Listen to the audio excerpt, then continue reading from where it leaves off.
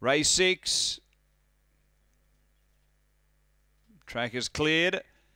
And Meek and Mild at 310 tab fix, 480 for Oakvale Magic. Runners are in and we're set now. There's the green light, ready to run. They're set and racing. Meek and Mild cop little bump after the start. Uh, good speed. Tyson's a rebel. Uh, then Elusive Anarchy. Billy Deeds out wider. Then Oakvale Magic behind those. Meek and Mild. El Jericho and Silver Timothy. Elusive Anarchy with Billy Deeds. Late is uh, Tyson's a rebel, but Elusive Anarchy has gone on to beat Oakvale Magic, sliding through for second. From Tyson's a rebel and Billy Deeds was out wider.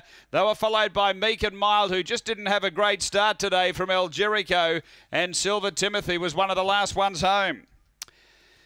Elusive Anarchy uh, getting the prize here, uh, box number eight, and has been able to uh, be too solid in the run to the wire. They were running all about the place. Five squeezing through late. Oakvale Magic will grab herself second spot.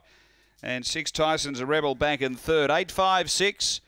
856, 1657 the run. And